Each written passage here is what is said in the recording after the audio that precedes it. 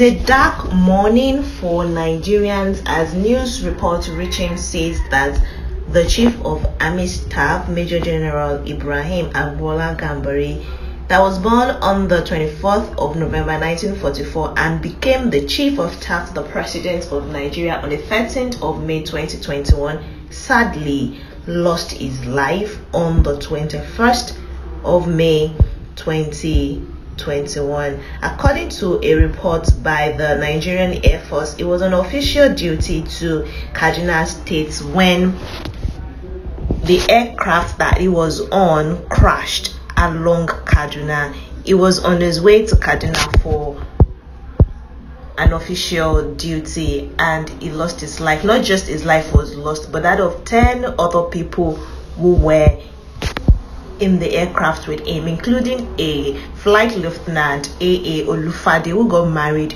two months ago, and a certain man that was going to get married next month, a flight lieutenant, Asoni C.O. He was one of those who died in the Kaduna jet crash. News reports added that the wife to the chief of army staff, Mrs. Fati Attahiru, was involved in the aircraft crash, but they've come out to debunk the news, saying that it was not one of those that were involved in the crash, which I guess is some kind of good news, right? At least the wife is alive. So if you are wondering who Attahiru Ibrahim is, it was the one that was appointed by President Muhammad Buhari to replace the late chief of army staff, staff who lost his life to COVID-19, Abba Kyari, in 2020 April.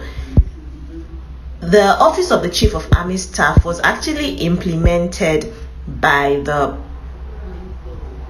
former president of Nigeria, Olusegun Obasanjo, in 1999. It was modeled after the White House chief of staff the duty of the Chief of Army Staff is assigned by the President, but they are primarily focused on managing the flow of information and people, advising the President on various issues, and they are considered very influential in the presidency.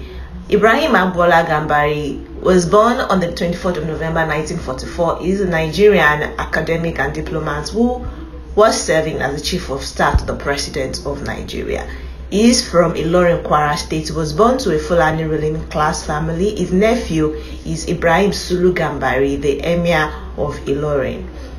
He attended King's College, Lagos. He subsequently attended the Lagos, the London School of Economics, where he obtained his BSc degree in 1968 with specialization in international relations. After that, he obtained his Master of Arts in 1970 and his PhD degree in 1974 from Columbia University, New York, USA in political science slash international relations.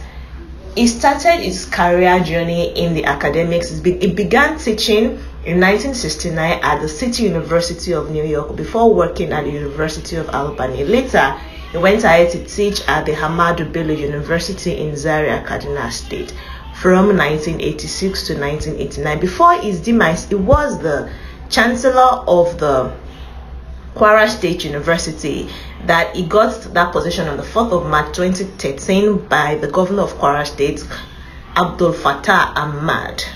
Not only that, it was decorated with the title of the Commander of the Federal Republic, CFR, by the government of Nigeria. He is the founder, or he was the founder and chairman of the Savannah Center. He was the co-chair of the Albright Gambari Commission. He was a member of the John Hopkins University's Society of Scholar. He was the chairperson of the panel of eminent persons of the African peer review mechanism. Not only that, he was sent or appointed to lead offensive attack against Boko Haram for the northeast part of Niger in May of 2017. He also worked as a general officer commanding 82 Division of the Nigerian Army shortly before his appointment as the chief of army staff. This man is an erudite scholar who has been involved in so many things from being a teacher to being a major general and a an army man, a, a military officer. And although he was appointed in January, he didn't resume office until May of 2021 of 20 and prior to his untimely demise a week ago his house was burgled but he said that they targeted the official residence of the late chief of staff around the presidential villa in Abuja, but they were unable to get access to it. He described it as a foolish attempt to boggle his residence. He escaped that unsuccessful attempt only to lose his life, but not just his life. 10 other crew members, including young men who were one was planning to get married the other got married two months ago so his wife is now a widow lost their lives in that untimely crash and according to them they said the jet crashed due to a bad weather the defense headquarters said bad weather was responsible for the crash over nigerian army force beechcraft 350 at the Kaduna International Airport. They said it claimed 11 souls that were on board, including the newly appointed Chief of Army Staff, Lieutenant General Ibrahim Attahiru. They said the sacrifices of the departed hero will not be in vain.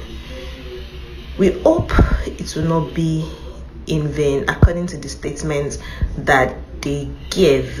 Also, not only did they give these statements, the Director of Public Relations and Informations of the Nigerian Air Force was the one who broke the news to us and he said they had briefed the President of Nigeria that his new Chief of Army Staff is now departed from the world. We hope to God that his family and that of his loved ones are able to bear the loss and God gives them the fortitude to go through this irreparable loss that has befallen them. And also that the presidency the office of the president will be able to bear this loss.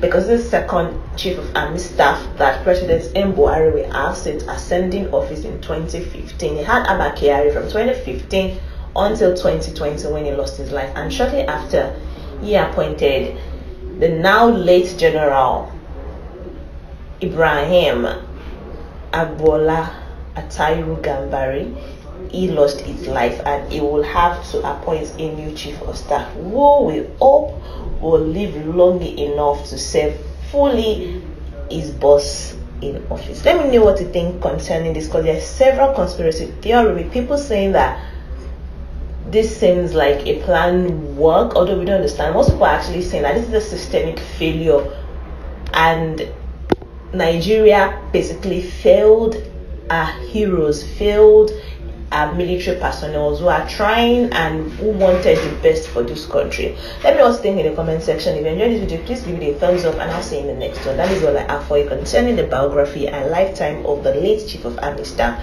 Ibrahim Attahiru Gambari. Bye.